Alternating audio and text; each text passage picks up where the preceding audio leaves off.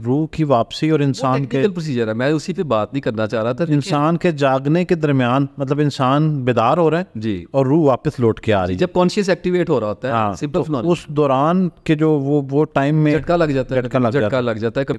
हज़रत इमाम इब्न सरीन ऐसे ही किया करते थे कि अगर कोई उनके पास आके बैठता था बताता था कि मुझे ज़्यारत ससम हुई है तो हुलिया मुबारक पूछते थे क्या देखा? बात यह है कि खुद मेरी अपनी ज़िंदगी में जो गौर तलब अमर है कि मुझे चार दफ़ा हजूसम की ज़्यारत मुबारक हुई है। माशा अच्छा अब नहीं इसमें एक टेक्निकल रीज़न है जो मैं यहाँ पे बता रहा हूँ। बता रहा हूँ कि ये तस्बी के अंदर तीन चीज़ें बड़ी हैं हमें। एक तबातर मकदार जी, जी। और वक्त। जी जी। तो ये फ़लसफ़ा क्या है? ये मेरे लिए बड़े इंटरेस्टिंग है कि एक चीज़ को एक ख़ास हद तक पढ़ना। You are burning your thoughts on unwanted things जो अल्लाह ताला ने आपको जिनसे इतदाल का हुक्म दिया फॉर एग्जांपल मोबाइल है पॉर्न है, औरत की मोहब्बत है, बिज़नेस की बहुत ज़्यादा हद से बड़ी तो आप अपनी थॉट को उसमें बर्न कर रहे हैं। So you are wasting your time because thought is time बिस्मिल्लाह रहीम यासिर जंजुआ पॉडकास्ट में वेलकम और आज के जो हमारे गेस्ट हैं, नासिर इफ्तार साहब मैं पिछले कई दिनों से यूट्यूब शॉर्ट्स में इनकी वीडियो मेरी रिकमेंडेशन में आ रही थी। और मुझे ना सुन के बड़ा सुकून मिलता था इनकी वीडियोस और मुझे लगता था कि ये एक डिफरेंट मैसेज है। मैसेज तो बहरहाल सेम ही था लेकिन जो इनका अंदाज़ था और जो बात कन्वे करने का तरीका वो मेरे दिल को लगता था। तो मैंने कोशिश की कि इनसे मुलाकात हो और मैं इनके साथ बैठ के गुफ्तगू करूँ। जी अस्सलाम नासिर साहब। नासिर साहब आपकी जो वीडियोस हैं वो सोशल मीडिया के ऊपर पिछले चंद महीनों से जी जी। आप बड़ी वायरल हो रही हैं लोग देख रहे हैं। अल्हम्दुलिल्लाह। और जब मैं वीडियोस आपकी देख रहा था तो मुझे ये भी पता चला कि आपका तो बैकग्राउंड जो है वो आईटी का है। इंटायरली डिफरेंट है। हाँ। आईटी के लोग तो पता है वो बड़ी साइंटिफिक थॉट हम्म, के मालिक होते हैं और तसव्वुफ जो है वो शायद मैं माइंडसेट की बात कर रहा हूँ मतलब Exactly. आईटी से ताल्लुक़ रखने वाले ज़्यादातर लोग जो हैं वो साइंटिफिकली चीज़ों को देख रहे होते हैं और लेकिन आपका जो रुख है वो तसवुफ़ की तरफ़ हो गया। जी जी। हादसाती तौर पे हुआ है किसी को सुनते रहे हैं ये कैसे ये ट्रांजिशन जो है यासिर साहब देखिए बात ये है कि हर वारदात जो होती है वो किसी हादसे से ही शुरू होती है जो एक मुस्तकिल मामला शुरू होता है। और ट्रांजिशंस तो हमेशा ही होती हैं आपकी भी होती हैं लाइफ में हमारी भी होती हैं। ट्रांजिशंस को हम कंट्रोल नहीं कर सकते। सही। और बैकग्राउंड डिफरेंट होने का कोई ऐसा मेरी नज़र में ये कोई ख़ास बात नहीं है। सही। लोग डिफरेंट प्रोफेशंस में होते हैं और जब उनके ऊपर ज़िंदगी चोट मारती है तो वो फिर अपने जहनी रुझानात को बदलता हुआ देखते हैं। सही। और अपने थॉट पैटर्न्स को चेंज होता हुआ देखते हैं। तो it happen somehow it dawned upon me that's all कुछ रीजंस कुछ इन्वायरमेंट कुछ सिचुएशंस इवेंट्स ऐसे हुए कि आहिस्ता आहिस्ता मैं इस तरह को पुश होना शुरू हो गया। और कुछ फिर मिजाज होता है। उस बारे में आप बेहतर समझ सकते हैं कि आदमी सारी ज़िंदगी से एक उसका, एक रुझान होता है। कुरान पाक में इसको शाकिला के नाम से अल्लाह ताला ने बयान किया है कि तुम में से हर एक की एक सिमत है जिसकी तरफ़ को वो रुख करता है। एक साइकोलॉजिकल स्ट्रक्चर है। तो मैं बाई बर्थ ही स्पिरिचुअल था। और मेरा तो मामला ऐसा था कि मैंने मेरा ख्याल छठी या सातवीं क्लास में शहाबनामा मैं पढ़ रहा था। तो जब आप इस माइंडसेट के साथ आ रहे हों और किताबें आपको किसी इन्फेक्शन की तरह आके लग रही हों हाँ। और आपके हम उम्र बच्चे जो हैं वो छोटे छोटे खेलों में मसरूफ़ हों तो कुछ बैकग्राउंड अल्लाह ताला बंदे तैयार कर रहा होता है उनके ट्रॉमास होते हैं बहुत ज़्यादा। I was very lonely child very separated kind of personality always he thinker था डीप थिंकर था चीज़ों को बहुत डिटेल में लेके बैठा रहता था। चिड़िया मर गई है क्यों मर गई है ऐसे क्या हो गया वो हो गया। तो इस तरह के माइंड से आप ट्रॉमा से बच कैसे सकते हैं? आप शहजादे हैं आप किसी भी जगह पर रखें आप गरीब रखें आपने इस तरफ़ कोई आना है। तस्बी का बड़ा किरदार है आपकी ज़िंदगी में। सारा ही किरदार तस्वीर का है। सारा ही किरदार तस्वीर का है। अगर मैं ये समझूं कि मैंने ज़िंदगी में कोई मेरे पास कोई अचीवमेंट है तो अचीवमेंट बड़ी कम होती हैं। अगर हम कभी गहराई से बैठ के गौर करें ना कभी दयानतदारी से अपने आप को सोचें और हमें कोई देखने वाला ना हो कोई हमें जज करने वाला ना हो और हमारी साइकी बिल्कुल उरियाँ हो नेकेड हो जाए हमारे सामने तो सम हो हमें फील होता है कि हमारी अचीवमेंट इतनी ज़्यादा नहीं है। इतनी भी नहीं है जितनी लोगों को नज़र आती है और इतनी भी नहीं है जितना इंगेजमेंट में हमें नज़र आ रही होती हैं। हाँ। असल इंगेजमेंट इतनी कम है कि आप यूँ समझिए कि खाल खाल कहीं कहीं और अल्लाह ताला की ख़ास अता से होती है। और हमारा उसमें कोई किरदार नहीं होता। मेरी इंगेज जो अचीवमेंट्स आई हैं स्पिरिचुअलिटी में उसमें एक इंगेजमेंट वो है जो अभी मैं डिस्कस नहीं करना चाहूँगा क्योंकि वो कॉम्प्लिकेटेड हो जाएगी थोड़ी मेडिटेशन के ऊपर है मुराकबा है। और तस्वीर एक ऐसी इंगेजमेंट है जिसका प्रोफेसर अहमद रफीक अख्तर साहब का मेरे ऊपर एहसान है कि उस्ताद का असल काम ये होता है कि वो आ, आपको अपने एक्सपीरियंस से आपकी डायरेक्शन ठीक कर देता है। उसने आपके साथ नहीं चलना। उसने आपको आप बाजू पकड़ के या आपको अपने कंधे पे लाद के नहीं लेके जाना। तस्वीर बेसिकली रोल क्या प्ले कर रही हो कुछ भी रोल प्ले नहीं कर रही थी। बड़ी सिंपलेस्ट फॉर्म है कि अल्लाह ताला ने जब हमें पैदा किया तो हमारे माइंड की एक नेचर रखी जिसको रिपीटिशन कहते हैं। सही। एडिक्टिव है हमारे माइंड की नेचर हम by birth by born we are made so everybody is addicted to something और मैनी थिंग्स यानी ये अगर हम ऐसा कहें कि आप वो समेत सारे लोग और देखने वाले सुनने वाले हर वक्त एक या एक से ज़्यादा जुनून में मुबतला होंगे। सही। जिसको पैशन कहा जाता है। ठीक। अल्लाह ताला इसको जुनून से आप वसल्लम ने तबीर किया कि ये जुनून है। तो तस्वीर क्या करती है कि अल्लाह ताला ने हमारी इसी कमज़ोरी को क्योंकि हमें आदत होती है। For example I am smoker मैं अक्सर ज़िक्र करता हूँ।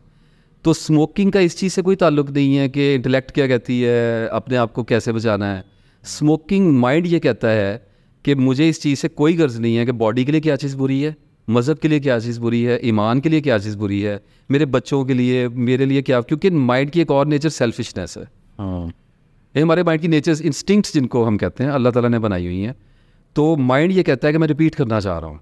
जिस चीज़ से उसे एक दफ़ा रिज़ल्ट मिल गया है वो उसको रिपीट करेगा उसका निरोसिस पैटर्न निरोटिक पैटर्न बनाएगा और उसका बार बार यादा करना चाहेगा। ये हमारे माइंड की एक नेचर है। इसी तरह से तस्बीह को हम अल्लाह ताला ने हमें हुक्म दिया कि मुझे याद करो। जैसे अपने आबाज जात को याद करते हो बल्कि इससे भी कुछ ज़्यादा। लेकिन मुख्तलिफ़ अजकार जो हैं जी जी। वो मुख्तलिफ़ किस्म के हदफ अचीव करने के लिए। मिसाल ले लें मैं प्रोफेसर अहमद रफ़ी अख्तर साहब को भी सुन रहा होता हूँ। तस्बीह के हवाले से एक शख्स अगर ये चाहता है कि उसको फ़र्ज़ करें डिप्रेशन में है कोई जी, जी। कोई एनजाइटी में। कोई शख्स जो है वो मुआशी मसाइल का शिकार है। तो इसके लिए तो मुख्तलिफ़ तस्बीहात दी जाती हैं। मैं ये जानना चाह रहा हूँ कि ये तस्बीह के अंदर तीन चीज़ें बड़ी हैं हमें। एक तवातर मकदार जी, जी। और अ, वक्त। जी जी। तो ये फ़लसफ़ा क्या है? ये मेरे लिए बड़े इंटरेस्टिंग है कि एक चीज़ को एक ख़ास हद तक पढ़ना एक ख़ास वक्त में पढ़ना हम्म। और इससे हो क्या रहा होता है? बेसिकली फिनोमिना क्या जनरेट हो रहा होता? है यासिर साहब आपने अभी जिस बात का ज़िक्र किया है कि तस्वीर के अंदर तीन चीज़ें बहुत अहम होती हैं तवातुर तादाद और वक्त। मेरी नज़रों में इसको फ़िलासफ़ी कहते हैं एक मेथड कहते हैं एक फार्मूलेट करना कहते हैं। किसी भी इंसानों की हम इंसानों की आदत है कि बेशक डिवाइन कोई हमारे पास टीचिंग है कोई हेल्थ से रिलेटेड टीचिंग है स्पिरिचुअल टीचिंग है हम उसको बड़ी तेज़ी से क्विकली इंस्टेंटली किसी फार्मूलेशन में डालना चाह रहे हैं। सही। एक फॉर्म में लाना चाह रहे हैं ताकि उसको प्रैक्टिस किया जा सके। अच्छी बात है तस्वीर की तादाद होनी चाहिए। तादाद इसलिए दी जाती है कि ताकि एक तसलसल बन सके क्योंकि हमारे माइंड की एक और नेचर भी है कि टारगेट ओरिएंटेड होते हैं अचीव करना चाहते हैं यहाँ से लेके वहाँ तक जाना चाह रहा है। तो उसके लिए तो मतलब सूफिया कराम ने या जिन लोगों के पास विजडम था उनको ये लगा कि अगर सौ बार दो सौ बार तीन सौ बार एक आदमी को दे दी जाए तो रिपीटिशन के साइकिल में गिर जाएगी और अगर उसके बाद दो तीन महीने के बाद छोड़ेगा तो छोड़ नहीं सकेगा एडिक्ट हो जाएगा तस्वीर का। That is all of the purpose अब दूसरी बात आ गई है तवातुर तो आपको तादाद के साथ ही बता दिया कि इसके अंदर ही वो दाखिल हो गया। वक्त की कैद नहीं होती जी। ये कल्ट में जाती हैं चीज़ें। और इस्लाम का इन चीज़ों से कोई ताल्लुक़ नहीं होता। और ये सारे मामला जो चलते हैं कि औलाद लेने के लिए तस्वीर करना कुशाइश के लिए तस्वीर करना डिप्रेशन से जान छुड़ाने के लिए तस्वीर करना तो उस्तादों की बात पे तो मैं कोई आर्गुमेंट नहीं करता। उनको अल्लाह ने नज़र दी हुई है। नज़र देने से मुराद कोई माफोकुल फितरत नज़र नहीं होती। तजर्बा होता है इल्म होता है फरासत होती है और इन तीनों के कॉम्बिनेशन से मिलके आप प्रोडिक्ट कर देते हैं एक बंदे को कि आप ये वाली तस्वीर पढ़ लें आप ये वाला अल्लाह का कलाम पढ़ लें।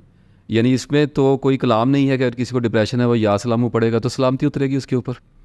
उसको उसके असरात आएँगे बरक़ात आएँगी उसको। अब इन सूफिया कराम से हट के जो फिर एक अब पूरा जैसे फ़िरका वारियत है मैं उस पर बात नहीं करता हम हर्ट नहीं करना चाह रहे लोगों को। इसी तरीके से स्पिरिचुअल कल्ट्स भी होते हैं। सेम गेम क्लोन हो रहा है। और वहाँ पर आपको पता है फिर वज़ाइफ और आद और फिर चिल्ला और ये सारी चीज़ें आ जाती हैं। तो ये जो तस्वीर है ये कहीं कनेक्ट कर रही है लॉ ऑफ़ अट्रैक्शन किस वो जो आइडियोलॉजी है कि लॉ ऑफ़ अट्रैक्शन पे मैंने यासब एक वीडियो की है काफ़ी लंबी की है।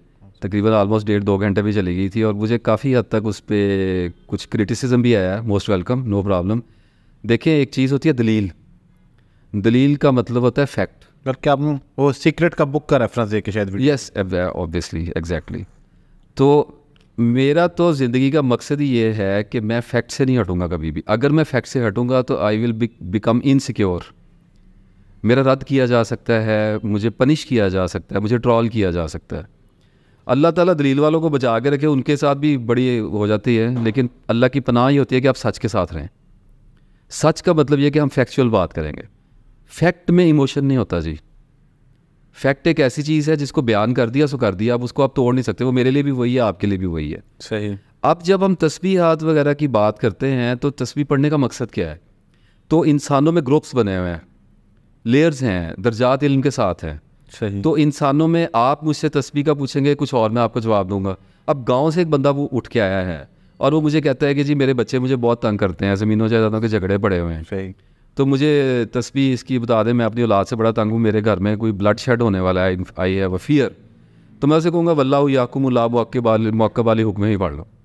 ठीक है? अब उसको इस चीज़ से कंसर्न नहीं है कि तस्वीर क्या कर रही है। हमें पता है तस्वीर क्या कर रही है। तो हम उसको कैप्चर करने के लिए साइकोलॉजिकली उसको ये बताऊँगा मैं कि एक तो इसको तीन सौ बार पढ़ो, ताकि मुसलसल रहे। दो दिन पढ़ लेगा, हज़ार हज़ार बार पढ़ लेगा, फिर तादाद नहीं पता, एक दिन इंगेजमेंट आएगी, छोड़ देगा। तो उसको एक चीज़ पे लगा दिया रिपीटेशन पे लगा दिया। अब तस्वीर पढ़ने से होता क्या है कि जब आप तस्वीर पढ़ना शुरू करते हैं तो तस्वीर एक्टिवेट हो जाती है। Basically we are talking about the divine spells अच्छा। ऑब्वियसली ऑब्वियसली नासिर इफ्तार के नाम में कुछ रखा हुआ है। अब मेरे नाम का मतलब नासिर है तो मुझे पहली जो इन्फेक्शन लगी है फाइलिंग से वो ये लगी है कि मैं मददगार हूँ। ये मेरी ज़ाती अच्छाई नहीं है। मेरे नाम का असर मुझ पर आया है कि आई मैं हेल्पर। नुसरत से निकला अंसार को आप जानते हैं मदीना तयबा में कितना बड़ा एक सेक्रीफाइस हुआ है। जी जी तो इसी तरीके से लेकिन मेरे साथ जो मुझे नेगेटिविटी लग गई है जो मुझे कमज़ोरी लगी वो इफ्तार में लग गई। अच्छा। फ़ख्र से निकला। बाई से इज़्ज़त होना चाहता है। I want to be respected ठीक है मैं बेइज़्ज़ती मेरे लिए बहुत बड़ा आसान है। और मैं उससे बचने की कोशिश करता हूँ। That is why I love to live isolated तो अपने मिजाज को समझना होता है, अपने नामों के साथ समझना होता है। इसी जब मैं एक एक मेरा एक मामूली सा नाम है, उसके इतने इम्पैक्ट मैं आपको लाइफ में दिखा सकता हूँ कि मेरी पूरी लाइफ इसमें कैप्चर है। मैं इसके अलावा कुछ भी नहीं हूँ। तो अब मैं अगर इसी पे तकिया करके बैठा रहूँगा, और मैं, लोग मेरा नाम रिपीट कर रहे हैं, मैं अपना नाम रिपीट कर रहा हूँ मेरे कॉन्शियस में हर वक्त नासिर नासिर है। Everything is about Nasir इफ्तार जब इतना बड़ा एक बुत बना हुआ है, और उस बुत के अंदर सब कुछ वर्ल्डली इनवर्ड आउटवर्ड सब कुछ उसी की तरफ़ जा रहा है तो मैं क्या करूँगा कि मैं यासला मुझे पढ़ना शुरू करूँगा? तो मेरे पास डिवाइन रिप्लेसमेंट आएगी मेरे नाम की। और जब वो चलना शुरू होगी तो अल्लाह ताला करेगा क्या कि मैंने डिप्रेशन से बचने के लिए पढ़ी तो अल्लाह मुझे डिप्रेशन में फेंकेगा। अच्छा। गेटिंग इट अब होता ये है कि लोग ये मुझे परसों एक साहब ने मैसेज किया उन्होंने कहा जी आपने कहा कि मैं नींद की दुआ छः सात साल पढ़ी मुझे नींद नहीं उसके बाद आई। तो अल्लाह के ऐसे नहीं कर सकता कि मैं रात को नींद की दुआ पढ़ूँ तो मुझे नींद आ जाए? तंस था एक तरह का। लोग समझते नहीं है इस बात को। कि कत्ल किए हुए हैं, बुरे काम किए हुए हैं, पता नहीं क्या क्या जुल्म इंसान ने अपने साथ और लोगों के साथ किया होता है। और जब ट्रॉमा हिट करता है और नाइटमेयर्स आने लगते हैं तो आदमी अल्लाह से ये तो रखता है कि मैं एक बार अल्लाह गारत नजूमे पढ़ दूँ और आसमानों में मुझे इतनी इंपॉर्टेंस दी जाए कि मुझे उसी रात एक पुरस्कून नींद सुलाई जाए, बेशक मैं रात को कत्ल करके आया हूँ। तो इसका मतलब है कि किसी भी शख्स को जिस नाम से पुकारा जाता है उसके असरात होते हैं। उसकी साइकी पे उसके असरात होते हैं। अच्छा तस्बीह के बारे में हम्म। एक और बड़ा कॉन्फ्लिक्ट है कि क्या तस्बीह पढ़ते वक्त उसका आपके ऊपर तारी होना हम्म। उस वर्त का उस ख़ास किस्म के जो हम्म। तस्बीह में बताए गए अल्फाज। या ये ज़रूरी नहीं है। मतलब मुझे एक तस्बीह दे दी फॉर एग्ज़ाम्पल या सलाम। अब मेरे जहन के अंदर इस वक्त कारोबार के तमाम मसाइल चल रहे हैं। मुझे ये लग रहा है कि अभी नासिर साहब से पॉडकास्ट करना है उसके बाद क्या करना है और साथ exactly. में रिया सलाम भी एग्जैक्टली तो क्या इसके बावजूद भी तस्वीर अपना किरदार अदा करती ने तो अपना किरदार अदा करना ही। हम थोड़ा सा पहले पिछले वाले सेगमेंट को क्लियर कर लें कन्फ्यूज़न लोगों के माइंड में पैदा हो जाए बात ये होती है कि जब मैंने ये स्टेटमेंट दिया कि अल्लाह डिप्रेशन में फेंक देगा जी जी जी यानी ऐसे लगेगा कि रप्ट हो गया। सही। जिसने यासलामू पढ़ी है वो एक्सपेक्ट कर रहा है कि कुछ कमी आएगी काम डाउन होगा। जी बेहतर। उसको रात को पैनिक अटैक आने शुरू हो जाए हो सकता हो सकता है हो जाए। सही सही। होता ये है कि अल्लाह ताला उस पर तस्बीह के नाम की बरकत से वो दबाव डालेगा जिससे ऐसे हालात पैदा होंगे ऐसे वाक़यात पैदा होंगे उसकी ज़िंदगी में ऐसे किरदार आएँगे जो उसको आखिरकार आहिस्ता आहिस्ता एक मखसूस मुद्दत के बाद अगर वो इस्तकामत पर रहा तो उसको डिप्रेशन से बाहर निकालेंगे। ये जो रास्ता मैंने आपको बताया है ये पेन्स का रास्ता है। अच्छा। अब लोग इस से भागते हैं। वो कहते हैं कि तस्बी को हमारा कॉन्सेप्ट इतना अनएजुकेटेड है कि हम ये समझते हैं कि हमने कुछ भी किया हुआ है। जब हमने अल्लाह को एक बार पुकार लिया है ठीक है हम ये नहीं समझते कि या सलामू पड़ा है तो पता नहीं सड़क पे किसी के साथ लड़ाई होनी थी कोई एक्सीडेंट वहाँ से भी बचा लिया गया है। सही। तो हम बरकत की कैपेसिटी को अंडर एस्टिमेट करके हम कहते हैं नहीं हमें रात को नींद नहीं आई। मुझे डर अभी भी लग रहा है। तो तस्वीर का प्रोसेस जो है उसको जिस बंदे ने तस्वीर करनी है ना उसको सब्र के साथ करनी है। जिसने अल्लाह का नाम ले लिया जिसने अल्लाह ताला के साथ वफ़ादारी का ऐलान कर दिया। और अगर वो चल पड़ा है तो अल्लाह फिर उसकी तरफ़ दबाव भेजे अल्लाह उसके स्ट्रेसेस बढ़ाए। फॉर एग्जांपल अगर किसी ने रिजक के लिए या रजा को पढ़ना शुरू कर दिया उसका कारोबार नहीं चल रहा था। हो सकता है उसकी दुकान बंद हो जाए दो चार महीने बाद। दो तरह के ग्रुप्स हैं कुछ लोगों को फौरी बरकत आती है कुछ लोगों को अल- अल्लाह तरबियत मकसूद होती है कुछ ऐसी गलती होती है बिज़नेस में किसी गलत बिज़नेस में होता है अल्लाह ताला वहाँ से निकाल के दुरुस्त सिमत में लेके जाता है। वहाँ तक जाते हुए दर्द होता है आदमी को। साइकोलॉजिकल और जिसमानी दोनों दर्द आते हैं खौफ आते हैं। सही। वहाँ से लोग भाग जाते हैं। तो मेरा सब लोगों को ये पैगाम है कि जब तस्वीर की है तो अल्लाह ताला को वक्त दीजिए। वो आपको यासलाम जिसने पढ़ दिया है उसको मेंटल रिलीफ मिलना ही मिलना है। वक्त लगना है कि उसने किया क्या हुआ है। अब रह गई आपकी बात कैफियत वाली। हाँ जी। हमारा एक हमारी एक ट्रेजडी है कि हमारे हमारा मतलूब अल्लाह नहीं है कैफियात होती हैं। सारा का सारा स्पिरिचुअल स्कूल ऑफ़ थाट खड़ा ही कैफियात के ऊपर है। हाँ कहते हैं कनेक्ट होना ज़रूरी। I live a disconnected life and I have no problem with that अल्लाह ताला ने हजूर से सूरह बद्दुहा याद नहीं है मुसलमानों को? Exceptional case no this is not exceptional case सुन्नत पूरी होगी जब आप अल्लाह के रास्ते में चलेंगे प्रॉफिट का सारा लाइफ का स्ट्रक्चर किसी ना किसी दर्जे में आपके ऊपर आजमाया जाएगा। टेस्ट की क्राइटेरिया तो हमारे लिए वही है उस वजह से नहीं है। तो सूरह बद्दुहा तो हमें भूल जाती है ना।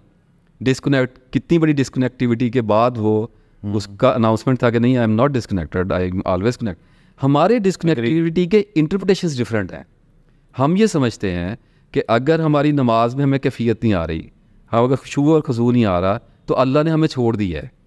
हमें ऐसा लगता है। सही। तो इस मामले में अगर अपने इल्म को बढ़ाया जाए अगर कुरान पाक पढ़ा जाए तो ऐसी आयात मिलती हैं जिनसे हमें यह तसली आती है कि एक वक्त ऐसा भी गुजारना पड़ता है ज़िंदगी में जिसमें हो सकता है कि ऐसा दिखाई दे कि अल्लाह मेरे साथ नहीं है। हो सकता है शैतान हमें ये मायूस करे और वो वक्त आजमाइश का होता है। That that is all about it तो इसका मतलब है कि तस्बी को बहरहाल जारी रखना और तवातर से रखना ये अहम है। कायम रहना है। हाँ। बस। और तस्बीह अपना काम खुद करेगी।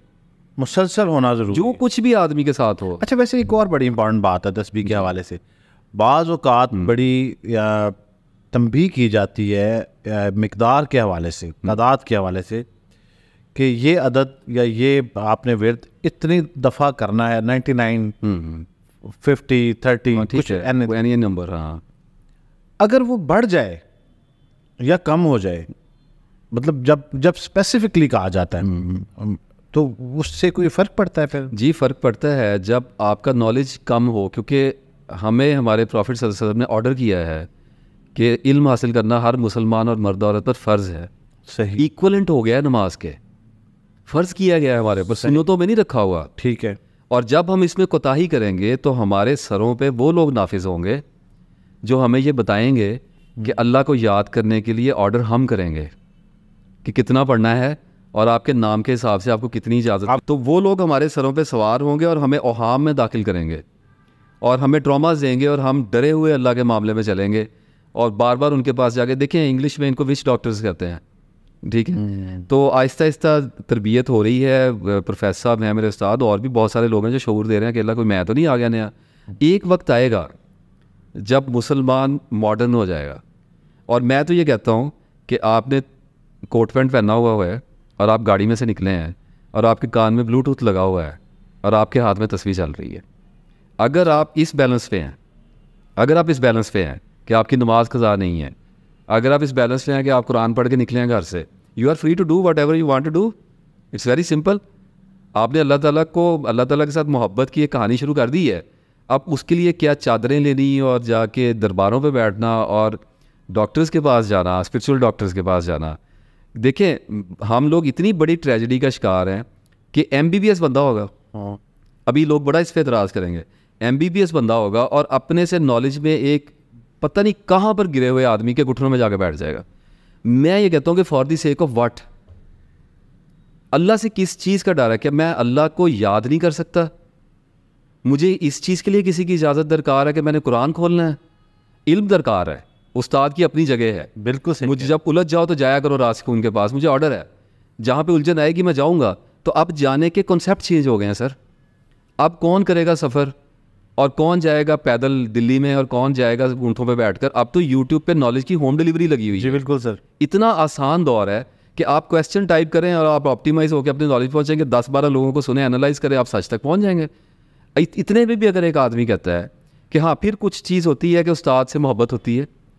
आदमी के ताल्लुकात होते हैं हमारी नेचर है हम रिचुअल्स करते हैं सेलिब्रेट करना चाहते हैं इसमें कोई हर्ज वाली बात नहीं लेकिन मैं कैसे उस्ताद के पास जाऊँ जो मुझे ये कह क्या है कि नासिर इफ्तार एक सौ ग्यारह बार अगर लाहौला वला कुत पढ़ोगे तो मेरे कान खड़े होते हैं और मैं उससे पूछता हूँ, क्या होगा? इसका मतलब है कि वो मुझे बता रहा है कि मैं गैप पे खबरदार हूँ। मेरे पास अल्लाह ताला की तरफ़ से अथॉरिटी है कि तुम इतनी बार ये पढ़ोगे तो तुम्हारे बच्चे ने जो लव मैरिज का घर में रौला डाला हुआ है, वो ख़त्म हो जाएगा। कैसे ख़त्म हो जाएगा? और ये असूल चलता है जुए के रूल पे। मैं इस बात को कंक्लूड कर देता हूँ गैम्बलिंग होता है, इसको गैम्बल करते हैं लोग। मैं एक कॉनमैन बन के बैठ गया। सही। और आप मेरे पास आए दस बारह बंदे आए मैंने वैकी सोल्यूशनिंग इसको कहते हैं वैकी सोल्यूशन दे रहा हूँ। जो मेरा डैमेज सा नॉलेज है वो मैं अल्लाह के वजह ऐसे पढ़ लो ऐसे हो जाएगा ऐसे पढ़ लो। मज दुध नहीं दिंदी है पढ़ लो ऐसे तवीज़ डाल दी है फलां कर दी। तो सौ लोग जब मुझसे जाएँगे ना तो नेचुरल सिलेक्शन में बीस पच्चीस लोगों का काम हो ही जाना है। हाँ। उन बीच पर वो बीस पच्चीस लोग मार्केटर हैं मेरे। उनके गले में मेरा ढोल पड़ गया है अल्लाह ताला ने उनको उसमें गुमराह कर दिया है। जब आप किसी के पास चले जाते हैं नजूमी हो गया पामिस्ट हो गया कोई तवीज़ करने वाला जब एक बार आप चले गए तो आपने गिरवी रख दिया अपना आप। अल्लाह क्या करेगा कि उसमें सौ बंदों में से बीस तीस बंदों के काम कर देगा उसने वैसे भी करने ही थे सबर करते तो हो ही जाना था दुआ करते तो होना ही था। सही। तो जब वो हुआ तो अब क्या करेंगे कि सौ दो सौ बंदे को आगे मार्केट करेंगे कि हमारा काम वहाँ से हुआ है और अगली बार उसके पास चार सौ बंदा आएगा। और मल्टीप्लिकेशन का रूल चल जाएगा। अब एक बंदे के पास डेली पाँच हज़ार बंदा आ रहा है। उसको क्या परवाह है कि कौन मरता है कौन जीता है? पाँच हज़ार में से पाँच पाँच सौ बंदे ने उसका मार्केटर डेली बनते जाना है और अरूज आता ही जाना है। और यूँ ये गुमराही की दास्तान तवील होती चली जाती है। लेकिन अब एक कन्फ्यूज़न नहीं क्रिएट हुई है। नासिर साहब वो ये है कि एक साइड पे तो आप ये कह रहे हैं कि तस्वीर का होना पढ़ना जी। ये ठीक है। आप करें ये आपकी ज़िंदगी में इसका बड़ा किरदार है। जी जी। ऑन द अदर साइड आप ये कह रहे हैं कि तस्बीह लेना किसी से। हम्म, हम्म, हम्म, ठीक है? और तस्बीह लेने से मुराद ये कि कोई आपको कहे कि ये तस्बीह पढ़ो और ये ठीक नहीं है। क्या आप ये कह रहे हैं कि राइट पर्सन राइट पर्सन देखिए मेरी किसी भी बात को स्टेटिक रियलिटी के तौर पे अगर लेंगे तो वो अलहदा से एक कन्फ्यूज़न बन जाएगी। हमें अल्लाह ने अकल दी है। जो लोग भी ये बात सुन रहे हैं देख रहे हैं जब उनके पास ये नॉलेज आया है तो वो एनालाइज नहीं होगा। तो इसका इंतखाब कैसे करें? देर आर फैक्टर्स एविडेंसेस उस बंदे का नॉलेज होना चाहिए। उस बंदे की कोई किताब होनी चाहिए। उस बंदे का एक बैकग्राउंड होगा। आप यूँ ही तो नहीं जाएँगे। आप अचानक क्यों जाएँगे? मेरी अगर वीडियोस पड़ी हैं मेरी कोई बुक है so there is a background history is working मैं फ़ंक्शन में हूँ ना। तो आप मेरी चीज़ों को पहले पढ़ेंगे। और अगर आपको लगता है कि ये बंदा रिस्की है तो आप ना जाएँ। और अगर आपको लगता है तो आप चले जाएँ। अच्छा वैसे भी चले जाएँ। अगर आपको लगता है कि आपको गलत बात यार ना अमल करें किसने फोर्स किया है हमें? असल बात ये होती है कि तस्वीर कई तरीके से बताई जाती है। अब मेरे उस्ताद बताते हैं सारा दिन बताते हैं तस्वीर। उनको अल्लाह ताला ने ये फरासत बख्शी है कि वो आपका नाम पूछेंगे और वो इंस्टेंटली अल्लाह ताला ने उनका वो पता अच्छा एक और चीज़ है। हम्म, वो बड़ी अहम है कि नासिर साहब अब तस्वीर ले ली। हम्म, तस्वीर का नुकसान क्या हो सकता है? मतलब अगर फ़र्ज़ करें कि एक शख्स की रिक्वायर्ड तस्वीर जो थी वो या गनी हूँ है। वो या सलामो पढ़ना शुरू हो गया। ठीक है। मिसाल ले लें तो क्या फ़र्क पड़ता है? किस चीज़ से? मतलब उससे उसका कोई नुकसान काउंटिंग की बात कर रहे हैं। काउंटिंग की बात नहीं। हाँ। मतलब रेलिवेंट तस्वीर नहीं है उसके इरेलीवेंट कोई कोई नुकसान नहीं है बिल्कुल कोई नुकसान लेकिन डिज़ायर रिजल्ट्स नहीं आएँगे। नहीं आएँगे? क्यों नहीं आएँगे? तो फिर तो कुछ भी पढ़ ले। कुछ भी पढ़ लें। मैंने आपको यही तो कहा है कि अल्लाह पढ़ाता ही वही है जो आपके लिए होता है। हाँ। जब आप मोड ऑफ़ सिलेक्शन में जाते हैं तो आपका पूरा साइकोलॉजिकल स्ट्रक्चर हरकत में आ जाता है शाकिला। और अल्लाह जो आपके मुकद्दर में किया है वही आप पढ़ेंगे ना। तो कंक्लूड ये हुआ कि जो आप भी जो भी पढ़ रहे हैं जी। ठीक है और कंसिस्टेंट हैं तो वो इम्पैक्ट क्रिएट होगा। अच्छे उस्ताद के पास जाना बेनिफिशियल है। रिकमेंडेड है। रिकमेंडेड है लेकिन अगर उस्ताद अवेलेबल नहीं है मेरा तो क्वेश्चन ये है। अच्छा नहीं अच्छा उस्ताद भी तो क्वेश्चन है ना। सर ढूंढना पड़ेगा। हाँ, रिस्पॉन्सिबिलिटी ऑफ़ द सीकर वैसे कैसे तलाश किया जाए? आपने तो किए होंगे। उसका एक प्रोसेस है जी लॉजिकल है जैसे अल्लाह को तलाश किया जाता है। ऐसे ही किया जाता है। मार खानी पड़ती है एक्सपीरियंसेस होते हैं। किताब पढ़नी पड़ती है इल्म को बढ़ाना पड़ता है परसेप्शन एनहेंस करनी पड़ती है। धोखा खाने के बाद अकल रोशन होती है। और एक धोखे को बार बार नहीं खाया जाता। हमें बताया गया कि एक सुराख से दो बार ना डसे जाना। हाँ। अगर हम दो बार भी चलें डसेंगे तीसरी बार तो नहीं ना चलें इतना तो ना करें। अब अगर आप बार बार एक ही लूप में चलते चले जा रहे हैं उस्ताद ढूंढेगी अगर देखें मैं ये बता रहा हूँ कि एक आदमी ने ये अनाउंस कर दिया कि या अल्लाह मैं तेरे साथ हूँ मैं सच के साथ चलूँगा। वो किसी कल्ट में नहीं जा सकता किसी सेक्ट में नहीं अगर चला भी जाएगा तो निकलेगा वहाँ से बाहर। अगर उसके अंदर इखलास काउंट होता है सर एट दी एंड अब देखें ना जिसने ये किताबें नहीं पढ़ी हुई जिसने ये अंग्रेज़ियाँ और ये सारा कुछ ये मुराकबे और चिल्ले और ये नहीं पढ़े और उसके बाद प्रोफेसर भी नहीं है अच्छा फ़र्ज़ कर लें मेरी जैसे बंदे की वीडियो भी नहीं है उसके पास मोबाइल ही नहीं है गाँव में बैठा हुआ है। सही वो बंदा कहाँ जाएगा?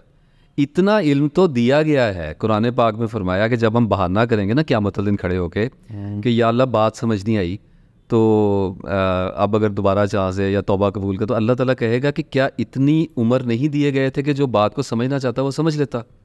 इसका मतलब ये है कि तीस पैंतीस साल का जो बंदा हो गया है ना वो पढ़ा लिखा है या अनपढ़ है उसको एक बात समझ आ गई है कि मैंने झूठ नहीं बोलना। सही। मैंने जुल्म नहीं करना। सही। मैंने किसी का हक नहीं मारना। तो सच्चा हो जाए। That is all about the enlightenment एक मोची बैठा हुआ है वो जूते गांट रहा है अपना काम करे ईमानदारी से पाँच नमाजें पढ़ ले नई तस्वीरों का किसी ने बताया ना करे एक चीज़ लाइलमी में रह गया तो अल्लाह ने उस पर किया ही नहीं ना। ये कौन सा कोई फ़र्ज़ था? बस ये है कि अपने बीवी बच्चों का वफादार रहे और किसी को ज़ख्म ना दे तो वो वो अल्लाह का दोस्त है। ज़बरदस्ती। तो हर आपकी एक वीडियो मैंने पिछले दिनों देखी जिसमें आप ख्वाबों की ताबीर से मुतलिक बात कर रहे थे। तो ये ताबीर जानना ख्वाब की आपको क्या लगता है ये सही है या नहीं पता करना चाहिए? और वाकई ख्वाबों की ताबीर होती भी है? ख्वाबों की तबीर होती है ख्वाबों का जो इल्म है वो अल्लाह ताला ने यूसुफ अलैहिस्सलाम को सिखाने के लिए ख़ास तौर पर मिस्र भेजा था। जो इजिप्शियन बुक ऑफ़ ड्रीम्स है वो कुरान पाक में अल्लाह ताला ने बड़ा ज़िक्र किया है कि हमने आपको भेजा। तो इंटरप्रिटेशंस तो हैं ख्वाबों की इमाम इब्न सरीन एक वो एक नॉलेज है प्रॉपर लेकिन बात ये है कि इतने सेंसिटिविटीज़ में रखा हुआ है इतने ज़्यादा वो आ, पुरस्कारियत में रखा होता है कि हमारे लिए ये फ़ैसला करना बड़ा मुश्किल हो जाता है कि मॉपर जो है वो कैसा है। उसका नॉलेज का स्केल कितना वास्ट है उसकी साइकोलॉजिकल स्टडी बंदे के बारे में क्या है क्योंकि जब आप ख्वाबों की ताबीर को आ, अगर आप पढ़ना शुरू करें तो इमाम इब्न से इनकी जो तबीर रोया है उसमें शुरू में ही इतना उन्होंने लेंथी क्राइटेरिया इतना हार्ड क्राइटेरिया सेट किया है कि इंसान सोचता है कि आजकल के दौर में ऐसा बंदा मिलेगा कौन? जो इतना क्योंकि ख्वाब की जो भी इंटरप्रिटेशन बताई जाती है आदमी उसके पास ही जाएगा जिस पर उसको ट्रस्ट है। उसको लगता है कि ये जानता है बात को। अगर उसने गलत बता दी है तो उसने वहम डाल दिया उस आदमी को और वो उसका शिकार हो गया है। तो मेरी नज़र में बेहतर ये होता है कि सेफ़ पैसेज ये है। कि अच्छा ख्वाब आया तो अल्लाह का शुक्र अदा करना चाहिए। हाँ। और अगर बुरा ख्वाब आया तो कोई सदका सदका दे देनी चाहिए कोई अल्लाह ताला के साथ तौबा करनी चाहिए और उसको झटक देना चाहिए दिल से। तालीमात तो यही हैं। आपसे सन में भी हमें यही बताया है कि थूक दो लेफ़्ट साइड पे हौसबिल्ला पढ़ लो दैट्स ऑल इट्स फिनिश्ड ख़त्म। और अगर बुरे ख्वाब ज़्यादा आते हैं तो उनके बारे में कुछ दुआएँ हैं मसनून वो पढ़ लेनी चाहिए। मेरे ज़ाती ख्याल में इनको ज़्यादा अहमियत नहीं देनी चाहिए क्योंकि अगर आप इस लूप में चले जाते हैं ख्वाब को इंपॉर्टेंस देना शुरू कर देते हैं तो माइंड इसके जुनून में जाता है। ख्वाब सिग्नल दे रहे होते हैं वैसे आपको? ऑब्वियसली वाई नॉट आ रहे होते हैं क्योंकि ख्वाब एक मैंने ख्वाबों के ऊपर बहुत लंबी वीडियो की है। ख्वाब सिग्नल होता भी है ख्वाब में आपको मुस्तबिल के बारे में भी कुछ बताया जाता है। कभी कभी आपकी साइकी को चेंज करने के लिए भी ख्वाब आते हैं तसली देने के लिए भी ख्वाब आते हैं डराने के लिए भी ख्वाब आते हैं। कभी कभी ऐसा होता है मैं बड़ी सादा एग्जांपल्स में बात कर रहा हूँ। जैसे आदमी अपने घर वालों को किसी ऐसी सिमत में लेके जा रहा था जिससे उनको परेशानी हो रही होती है तो उसको रोकने के लिए अल्लाह ताला डरा देता है सम टाइम सम टाइम ऐसा होता है कि इंसान कोई दुआ ऐसी कर रहा होता है जिसका उसको रास्ता नहीं मिल रहा होता इसबाब में इसबाब में जाने का। तो आइडिया के तौर पर कुछ ऐसी बातें सुझा दी जाती हैं। तो ख्वाबों के तो बड़े इंपैक्ट है हमारी लाइफ पे। लेकिन ज़्यादातर ख्वाब का जो हिस्सा होता है वो एंगजाइटीज़ पे होता है गेस्ट्राइटिस पे होता है और हमारे डेली के जो रुझान आते हैं उनकी वो सोल्यूशंस को माइंड ढूंढ रहा होता है। और इसका एक मकसद ये भी होता है कि जो अननेसेसरी डिटेल्स हैं सारे दिन की वो ज़रा डिलीशन उसकी की जाए कॉन्शियस हल्का कर दिया जाए। बहुत सारे इसके फैक्टर्स हो। आपकी तो ख्वाबों से बड़ी दोस्ती है। हाँ जी बिल्कुल है। दोस्ती तो सभी की होती है। आपकी ज़िंदगी में कितना अहम ख्वाब है जिसका आप ऑलरेडी क्योंकि ज़िक्र कर चुके हैं रिकॉर्डेड है मैं इसलिए पूछ रहा हूँ। पहले तो वो ख्वाब बताएँ क्या था? मैं रसूल सल्लल्लाहु अलैहि वसल्लम के बाद। हाँ जी बिल्कुल मैं उसी का ज़िक्र करूँ और फिर उसके बाद आपकी फीलिंग्स क्या थी? देखिए ज़्यारत रसूल सल्लल्लाहु अलैहि वसल्लम एक ऐसा ख्वाब होता है जो बहुत सेंसिटिव सब्जेक्ट है हमारे माशरे में, समझा जाता है। मैं इस पर थोड़ी सी आपके तवसु से बात भी करना चाहता हूँ इस मौजू पर कि शायद मेरी वीडियो में मैं उस पर वो स्किप हो गया मुझसे। होता ये है कि जो ख्वाब खुशखबरी देने वाले होते हैं, इंसान के दिल को तसली देने वाले होते हैं। फॉर एग्ज़ाम्पल मैंने उस वीडियो में ये भी ज़िक्र किया है कि एक दफ़ा बहुत गम मुझ पर छाया हुआ था तो मेरे उस्ताद प्रोफेसर मेरे ख्वाब में आए और उन्होंने मुझे उठाया और उन्होंने कहा कि तुम्हें कुछ नहीं होगा। अब वो एक्चुअली नहीं आए हैं मेरे ख्वाब में। और मैं तो I will go one step further and will say that he doesn't know actually कि वो किसी के ख्वाब में आ रहे हैं और जा रहे हैं। वो तो शायद खुद उस वक्त सो रहे होंगे। अल्लाह ताला क्या करता है कि अल्लाह ताला को साइकी का पता है इंसान की कि ये इन्फ्लुएंस हो रहा है इस बंदे के साथ। तो वो क्या करता है ख्वाब में आपके पास जिन आता है और रिश्ता आता है ट्रांसफार्मर है शेप चेंज करते हैं। क्योंकि देखिए मैं आपको एक दिलचस्प बात बताऊँ आप अपनी ज़िंदगी में तीन चीज़ें देखेंगे। सही। नेम फॉर्म और shape there is no fourth element आप ख्वाब में भी यही देखेंगे, आप दुनिया में भी यही देखेंगे और जो आप दुनिया में देखेंगे, ख्वाब में भी आप उससे आगे पीछे नहीं हो सकते। आप कोई ऐसी चीज़ नहीं दे सकते जिसका विजुअल फ्रेमवर्क आपके पास रेफरेंस उसका मौजूद नहीं है। बर्तन होंगे, चाय होगी, पानी होगा लोग होंगे, शक्लें होंगी, यही सारी चीज़ें चल रही होंगी। तो फरिश्ते अल्लाह ताला के हुक्म से बसा अवकात आदमी को खुशखबरी देने के लिए कुछ ऐसे रूप धारते हैं जिससे इंसान को वो पैगाम पहुँचाया जाता है कि पता होता है कि ये सीरियस इसकी साइकी इसको बहुत ज़्यादा सीरियसली अडॉप्ट करेगी। और वो इसके अंदर तक चला जाएगा और इसके लिए एक इतमान का किरदार अदा करेगा। अब आ जाते हैं हजूर वसम की ज्यारत मुबारक सल्ला वसलम ये जैकपॉट है मैंने ज़िक्र किया था कि इसका आपके दरू शरीफ ज़्यादा पड़े दुरुद इब्राहिम तो अल्लाह ताला आदमी को ऐसे मामला पैदा कर देता है आसानी हो जाती है। आप अपने प्रॉफिट को वसम को ज़्यादा याद करेंगे चांसेस आर हायर कि ज़्यारत हो सकती है। अच्छे किरदार के साथ होंगे ज़्यारत हो सकती है लेकिन आ, ये कोई रूल ऑफ़ थम नहीं है। आ, बहुत से लोग ऐसे होते हैं जिनके जहन में भी नहीं होता और उनकी लाइफ का पैटर्न भी ये नहीं होता लेकिन उनको ज़्यारत रसूल हो जाती है वसल्लम। अच्छा प्रॉब्लम ये है कि ज़्यारत रसूल जब आती है तो ये सबसे बड़ा ख्वाब होता है जो आपके फेथ को टच करता है। सही। इससे अल्लाह ताला का मकसद बड़ा बहुत बड़ा आपकी ज़िंदगी का रुख चेंज करना होता है। मैंने उस वीडियो में ये भी अर्ज़ किया था कि बहुत से ऐसे लोग होते हैं जिनको अल्लाह ताला ख्वाब में उनकी मौत दिखा देता है। मुझे बहुत लोग ऐसे मिले हैं देखा जी शाम ख्वाब में अपना जनादा देख लिया। अपनी नमाज़ जनादा देख लिया अपने आप को देखा मुझे गुसल दिया। अब जिस बंदे ने ऐसा ख्वाब देख लिया है हम्म। क्योंकि हमारी साइकी में सबसे बड़ा खौफ मौत का है। सही। खौफों का सरदार है। तो हमें पता है कि हमने मर जाना है। और जब उससे मिलता हुआ ख्वाब आता है तो इंसान डर जाता है। उसकी साइकी वीक हो जाती है। ईगो के लिए अना के लिए हरासमेंट है डेथ ये हरास करती है ईगो इससे इतनी ज़्यादा आप यूँ समझे कि शैतान दुम्बा बन जाता है छोटा छोटा सा हो जाता है। तो अब रात को किसी बंदे ने देखा तो अब अल्लाह ने खुशखबरी नहीं दिखाई उसको डराया है लेकिन उसकी बेहतरी के लिए डरा दिया है। हो सकता है शराब पीता होगा ऐसे कामों में पड़ा होगा बीवी रो रो के दुआएँ करती होगी अल्लाह इसको हिदायत दे तो अल्लाह ने लगा दिया झटका बिजली का चार सौ चालीस वोल्ट का। सही अगले दिन उठेगा भागा भागा जाएगा तो अब अगर बहुत ज़्यादा सख्त जान होगा एवॉइड कर जाएगा सह जाएगा और आदत से नहीं हटेगा तो हो सकता है दोबारा कुछ उससे ज़्यादा इंटेंसिटी का दिखा दिया जाए। ज़्यारत रसूल सल्लल्लाहु अलैहि वसल्लम में देखें ये नसीब की बात होती है। किसी को भी हो सकता है। इतने फैक्टर इसमें काउंट हो रहे होते हैं कि हम इसकी जजमेंट नहीं पास कर सकते कि ऐसे होता है। मैंने ऐसे लोग देखे हैं अल्लाह उन पर रहम फरमाए कि वो लोगों को ये तलीम देते हैं कि आप इतनी बार आप पढ़ें ये चीज़ आपको ज़्यारत रसूल हो जाएगी। कंट्रोल करने की इंसान वही ना हर चीज़ का एक फार्मूलेशन और एक मेथड इन्वेंट करते हैं व्हील बनाते हैं कि आप ऐसा करेंगे तो आपके साथ ऐसे हो जाएगा। और नाउज़ बिल्ला जाने अनजाने में अल्लाह ताला को भी हम उसी फ्रेम में लेने की कोशिश करते हैं कि हम ऐसे पढ़ेंगे तो अल्लाह ताला चाहता है या नहीं चाहता नाउज़ बिल्ला हमें ज़्यारत आनी आनी है। तो इसकी तो तरबियत की ज़रूरत है। अब ज़्यारत रसूल स्पेसिफिक पे मैं आपको एक बात अर्ज़ करूँ, जिस पे हर्ट आ सकता है लोगों को। एविडेंस भी दूँगा। मुझे ज़्यारत रसूल आई और मैंने उस पर वीडियो कर दी। तो लोगों ने बड़ी सुबह अल्लाह सुबह अल्लाह की, माशाल्लाह माशाल्लाह की, इस मकसद के लिए नहीं की थी वीडियो वीडियो इस मकसद के लिए की थी कि ईमान मज़बूत हों और लोगों को ये अंदाज़ा हो कि अल्लाह उनको तनहा नहीं छोड़ता। अल्लाह अगर आपको आपकी दुनियावी ज़िंदगी में इसबाब की ज़िंदगी में चलता फिरता हुआ नज़र नहीं आता ना तो हम्म। ख्वाब में कोई रुकावट नहीं है ख्वाब में टाइम एंड स्पेस नहीं होता। ख्वाब में कुछ भी हो सकता है। तो अल्लाह ताला आपको कोई ऐसी बहुत बड़ी चीज़ दिखा सकता है जिसके बाद आप अगले दिन सुबह उठें और गम के पहाड़ के नीचे आप खड़े हैं और आप मुस्कुरा दें और आप कहें कि नहीं अल्लाह मेरे साथ तो मकसद इसका लोगों को तसली देना था। मकसद पहले पूरा बयान भी किया कि मैंने क्या करना है बयान करके ये तो बनाया है। तो चूँकि इस्तेमाल हो रही है अब ज़िंदगी के लोग उसको देखें और अभी तो आगे अपनी ऐसी बहुत सी चीज़ें लेके जाऊँगा कि लोग कहेंगे इसको अल्लाह की रसूल सल्लल्लाहु की ज़्यारत हो गई। इसको कैसे हो सकती थी?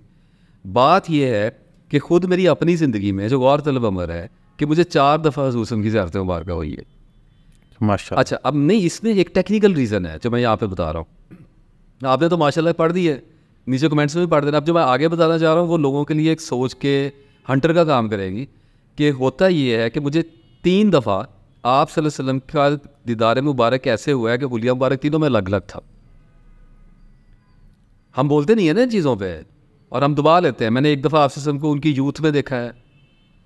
जवानी मुबारक में देखा है, बिल्कुल यंग थे, माशाल्लाह he was so young vibrant glowing और वो मुड़े और किसी बालकनी में थे और मैंने उनका चेहरा मुबारक देखा I was ton shocked he was such a graceful man तो अच्छा लेकिन दूसरी बार जब मैंने देखा तो मैंने दाढ़ी मुबारक के बगैर देखा बुढ़ापे में देखा। नमाज़ पढ़ रहे थे। ठीक है अब मैं उसकी तफसीलात में ज़्यादा नहीं जाऊँगा जो बताने का मकसूद है वो बता दिया। अच्छा इसी तरह मैंने एक बार देखा कि वो किसी और हुलिया मुबारक में थे। और इसी तीसरा चौथा ख्वाब इसलिए बताया है कि उसमें हुलिया मुबारक नहीं था मेरे लिए। सो दैट इज़ वाई मैं ये गुमान कर सकता हूँ कि अल्लाह ताला ने मुझे दस्ते मुबारक सल्लम की ज़्यारत नसीब फरमा दी। मेरे पास इसका कोई एविडेंस नहीं है। मेरे पास इसकी कोई श्योरिटी नहीं है। मैं इस दलील पे नहीं ज़िंदा रह सकता। अब लोगों की तलीम के लिए बात बताई कि जो लोग ये कहते हैं कि हजूसम की अहादीस मुबारक हैं कि आप ने फरमाया कि शैतान मेरी सूरत में नहीं आ सकता, जिसने ख्वाब में मुझे देखा, उसने बयान मुझे ही देखा। इसमें थोड़ा इंटरप्रिटेशन का फ़र्क ऐसे होता है कि जैसे दांतों की सफ़ाई सुनत होती है मसवाक सुनत नहीं होती है। हमारी अभी तक ये मिस इंटरप्रिटेशन चल रही हैं और हम उन्हीं कदीम चीज़ों में चलते आ रहे हैं। मसवाक मोहब्बत के तौर पे भी की जाए। सही है। कभी जिससे मोहब्बत हो आदमी उसको एज इट इज़ भी कॉपी करता है। लेकिन असल मकसद दांतों की सफ़ाई है। सही है। इसी तरह से हजूर से ने जब ये फरमाया है कि मेरी सूरत में नहीं आ सकता तो इसका मतलब ये है कि एग्जैक्ट मेरी सूरत में नहीं आ सकता। और हुलिया मुबारक की जो हमारे यहाँ डेफिनेशन है उन पर तो मैं बात ही नहीं करना चाहता वो तो बहुत लोग हार्ड हो जाएँगे। वो इतनी लिटरेरी टू द पॉइंट नहीं है। अगर किसी आदमी के पास किसी आदमी ने हजूर की ज़्यारत मुबारक की है वसल्लम की तो मेरे नज़र में उसका काम यह बनता है कि सुबह उठ के दो नफल सजदा शुक्र के अदा करे कि अल्लाह ने उसको इस काबिल समझा कि इतनी बड़ी तसली उसको भेजी है। जी बिल्कुल। इतना ज़्यादा बाइस एहतराम नहीं है इंसान। तो उस वक्त आसमानों पर कोई अल्लाह का मिजाज कोई मिजाज मुबारक ऐसा हुआ था कि इसको तसल्ली तो मर गया ये इसको निकालो। तो हो गया तो तसल्ली करे कोई तस्वीर वगैरह शुरू करे उसके सदक़े में कि सारी ज़िंदगी ये तस्वीर या ये एक नेक अमल छोटा सा कोई भी शुरू कर दे ताकि अल्लाह ताला खुश हो कि इसने इसको सीरियस लिया है इस पर असर हुआ है। और दूसरी बात यह कि अगर एविडेंस चाहिए है तो फिर हुलिया मुबारक पे जाएँ। उस पर तीन चार महीने लगाएँ उस पर मास्टरी करें कि आपने जो देखा है आप उसकी ममासलत के करीब पहुँचना शुरू हो विजुअलाइजेशन आपकी एक्यूरेट होनी शुरू हो। जो आपने देखा है और जो असल में है वो एक दूसरे के अंदर सिंक हो। जाए अगर आप यहाँ तक जाते हैं और आपको लगता है गुमान गालिब होता है कि देखा है तो ठीक है इसमें क्या अर्ज़ वाली बात है? मेरे साथ असल में तजर्बा ऐसा हो रहा है कि मुझे लोग जब मिलने आते हैं तो मुझे ऐसे ऐसे साइकोटिक लोग भी मिलने आ जाते हैं जो स्किड्सोफ्रेनिक होते हैं बाइपोलर होते हैं हेलूसिनेशन के मरीज़ होते हैं।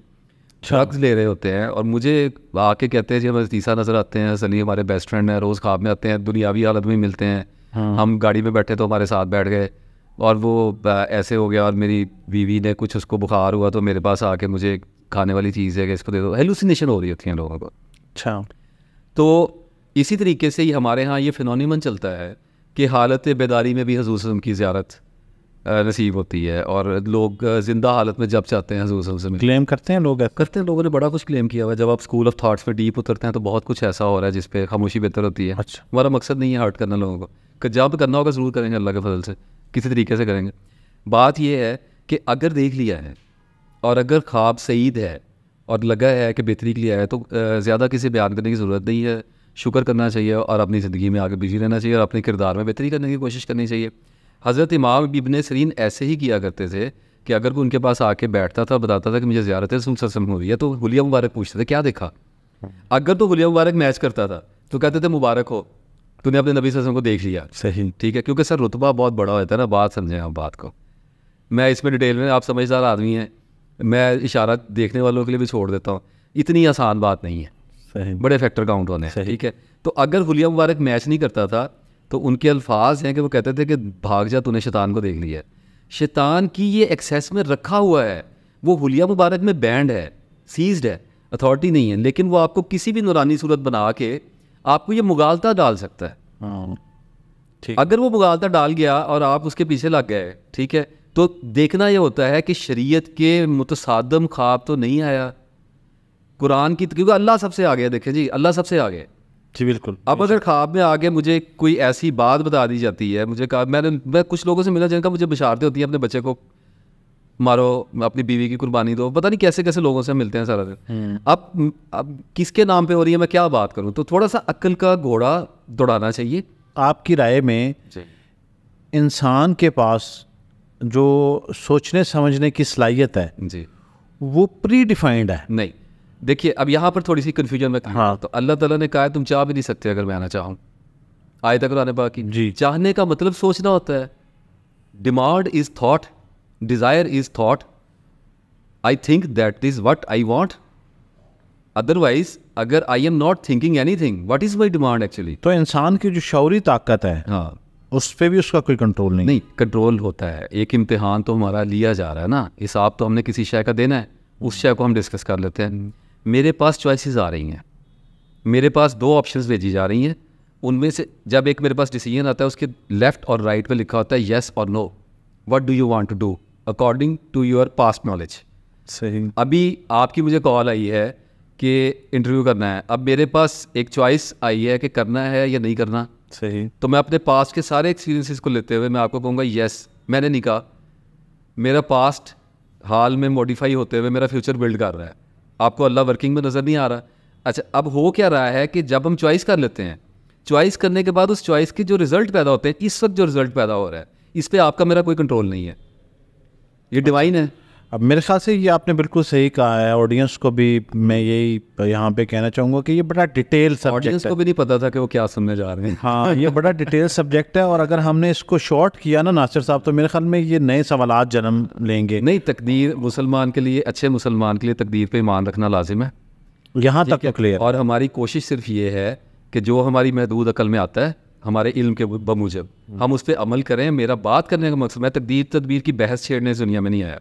सही। मैं सिर्फ़ ये अवेयरनेस एक देना चाह रहा हूँ कि जब हमारे पास आ गया है ऑप्शन हमने जब चूज़ करें तो जो रिज़ल्ट निकलते हैं ना उनका स्ट्रेस ना लें। उनको कबूल करें अच्छा आ गया बुरा आ गया एक बंदे ने अपने बेटे को बाहर पढ़ाने के लिए भेजा उसके बाद बाहर हादसा हो गया। उसकी डेड बॉडी आ गई। ठीक है तबूत में आ गई। तो चॉइस के नतीजे में जो रिज़ल्ट आ गया वो तो और आ गया ना। तो उसको सब्र करने का हुक्म दिया गया है। अच्छा। सब्र करेगा अल्लाह ताला पे तवक्कल करेगा और दोबारा जो चॉइसेस आएँगी उन पे अमल करेगा। तो चॉइसेस अगर हमारे हाथ में रखी हुई हैं अगर उनके रिज़ल्ट भी रख दी जाए तो हमें हम दुनिया को नहीं चला सकते। ये काम अल्लाह ने अपने कंट्रोल में रखा हुआ है। इस चीज़ को तदबीर कहते हैं कि अल्लाह ताला जो हमें दे रहा है गैब की तरफ़ से उस पर हमारा इख्तियार नहीं देना चाह रहा हम उसको ड्राइव ही नहीं कर सकते।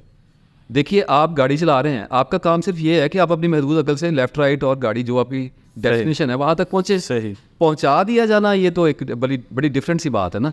आप अक्सर एक बात कहते हैं मैंने सुना है कि आप कहते हैं कि शक करना जो है वो बड़ा ज़रूरी है। Sort ऑफ़ नॉट ज़रूरी शायद- plays a very important a very significant part in our lives. अच्छा। तो ये शक तो वो वाला शक है जो बीवियाँ हस्बैंड पे करती हैं। मार पड़ती है मार पड़ती है बंदों को भी पड़ती है औरतों को भी पड़ती है। या ये वो शक है जो दोस्त दोस्तों पे कर रहे होते हैं किस शक का ज़िक्र आप करते हैं? डाउट देखें डाउट हमारे यहाँ, हमारी इंस्टिंक्ट्स को नेगेटिव और पॉजिटिव में डिवाइड कर लिया गया है सोसाइटीज़ में। होना भी चाहिए। मसला ये है कि अल्लाह ने हमें जो जो भी दिया है, वो हमारी बेहतरी के लिए दिया है और इस्तेमाल करने के लिए दिया है और उसको साले करके आखिरत तक कामयाब होकर पहुँचने के लिए दिया है। अब अगर मैं कारोबार कर रहा हूँ, मैंने काम शुरू किया है फॉर एग्ज़ाम्पल आपने अभी माइक वगैरह लगाए हैं अगर आप शक नहीं करते कि इसकी केबल्स ठीक लगी हुई हैं अगर आपको डाउट नहीं होता मशीन पे तो आप मार खाएँगे आपको धोखा हो जाएगा मशीन आपको धोखा दे सकती है। यू आर वनरेबल तो आपको वो शक ज़रूर अपनी ज़िंदगी में रखने हैं जिन पे आपको अपने आप पे डाउट हो कि यार मैं ठीक जा रहा हूँ कि नहीं जा रहा। मुहासबे का नाम इसको दिया गया है। आप अगर अपन शक नहीं करेंगे तो इसका मतलब है कि आप अपने आप से बहुत ज़्यादा हमदर्दी कर रहे हैं। दूसरों पे शक वाली बात नहीं कर रहा। अच्छा वैसे दूसरों पे शक करने के हक में नहीं है आप भी? नहीं कभी कभार कर लेना भी बेहतर है। कभी कभार कभी कभार अच्छा। कभार बेहतर। आपकी प्रोटेक्शन के लिए अल्लाह ने दिया है लेकिन जब हाथ से बढ़ता है तो नफसियाती बीमारी बनता है और इससे तबाही भी होती है। हर शय को उसकी अपने हाथ हद में रखना चाहिए। अगर मैं किसी सुनसान मुकाम पे किसी एटीएम में दाखिल हो रहा हूँ और वहाँ पे एक मोटरसाइकिल सवार आके रुका है मुझे शक करना बेहतर है कि मैं मलंग हो गया मेरे को नहीं कुछ भी नहीं होता मेरे साथ। हो गया तो फिर मैं क्या करूँगा ठीक है? तो ये तो हमारी सेफ्टी के लिए चीज़ें थी हैं। लेकिन मैं अब हर बंदे पे शक करूँ घर वालों पे करता हुआ तो मैं ज़िंदगी तबाह करके बैठ जाऊँगा ना आम तौर पे अच्छे गुमान के साथ ज़िंदगी गुजरती है। बहुत सारे लोग जो हैं वो इस इस शक में रहते हैं अपनी ज़िंदगी में आजकल। शक की क्योंकि बात हो रही है। जी। ज़िंदगी में किसी भी नाकामी के पीछे जब वो छुपते हैं तो डिफेंस लेते हैं कि जादू हो गया जादू हो गया हकीकत है हो सकता है। नज़र बद हकीकत है लग सकती है। जी आपका क्योंकि इंटरेक्शन है? जी। रोज़ाना की बुनियाद पे लोगों से लोग आपसे आके डेफिनेटली अपने मसाइल भी डिस्कस कर रहे होते हैं इस तरह के एक्सपीरियंस भी शेयर कर रहे होते हैं। चिल्ले काटता रहूँ दो हाँ, कि अच्छा इस पर भी कभी बात करेंगे इंशाल्लाह तो किसी शख्स पे वाकई जादू हो गया है? ये मैं अक्सर सवाल करता हूँ किसी शख्स पे को वाकई नज़र लग गई है? एक तो ये कैसे पता चले? या कोई ओसीडी का मरीज़ है? ये फ़र्क कहाँ से निकाले? एक बंदा जो हर वक्त सोचता है कि यार दुनिया के सारे गलत काम ना ये मेरे साथ हो रहे हैं। सिग्नल बंद हुआ सब गुजर गया है। मेरी वजह से बंद हुआ है। इस तरह के ख्याल इसको ज़रा प्लीज़ देखिए इसको थोड़ा सा मुझे थोड़ा टाइम दरकार होगा। जी जी निपटाएँगे। जी जी। कोई प्रॉफिट अल्लाह ताला ने फरमाया है ऐसा नहीं गुजरा ज़िंदगी में अपनी ज़िंदगी में जिसको ये ना कहा गया हो कि तुझ पर जादू हो गया। सही। कोई प्रॉफिट ऐसा नहीं जिसको आज सेफ़ ज़्यादा नहीं कहा गया, जुनून ज़्यादा नहीं कहा गया। और ख़ुद प्रॉफिट को भी एक अजीम दबाव का सामना करना पड़ा है, इस सारे मामले को लेके। आप हजूर वसल्लम की जब हयात मुबारक देखते हैं, जब वही आ रही थी, जब जब्राइल आया, इससे बड़ी खुशखबरी तो कोई नहीं हो सकती कि जब्राइल उतर आए हैं और उन्होंने कहा कि आप दो जानों के सरदार इससे बड़ी क्या चाहिए? वो गारे हिरा से कैसे निकले थे आपसे वसल्लम? क्या खुमार आलूद के साथ बाहर आए डरते हुए बाहर आए थे? और खदीजा की गोद में आके लेटे थे और पल्लू से अपना चेहरा मुबारक छुपाया था कि मुझे जिन नज़र आ गया। और वही हुआ, मैं जो सोचता था, वही मेरे साथ, इतना ज़्यादा मैं सोचता था डीप थिंकिंग करता था, मेरे साथ ऐसा कुछ हो गया मामला।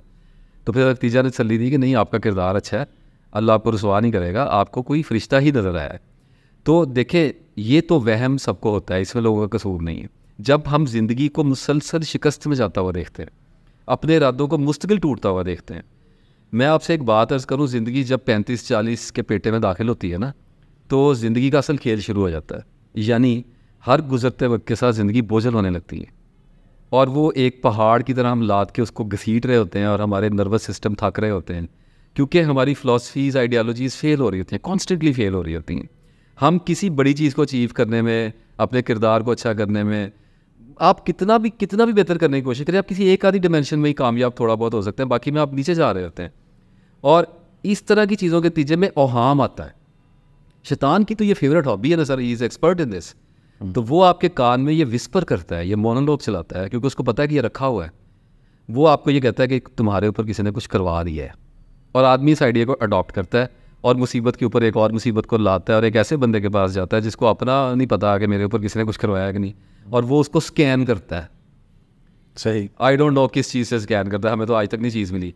मेरा इस मामले में एक सादा सा मशवरा ये है कि होता फिर जादू। पहले तो मैं देखूँ 2024 में किसके पास टाइम है और अच्छा जादूगर है कहाँ पे है? जो लोग हाँ जहाँ आज कल कुछ भी खालिद नहीं मिल रहा तो खालिद जादू से- एंगजाइटी है डिप्रेशन है जब जिस तरह के चीज़ें खानी है पिज़्ज़े बर्गर खा के गैस नहीं रात को चुड़ेलें नज़र आनी है और कहना मेरे ऊपर किसी ने जादू कराया हुआ है।